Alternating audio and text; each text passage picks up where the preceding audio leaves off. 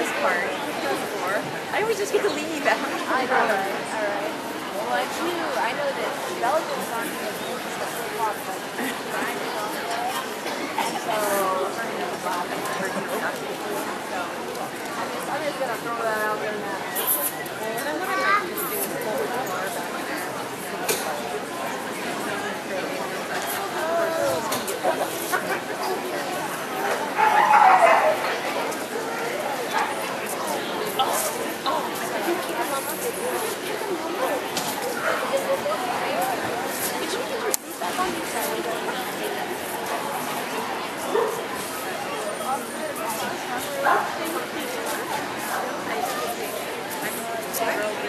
And then what I might just do is pull the bar back there. Real serious.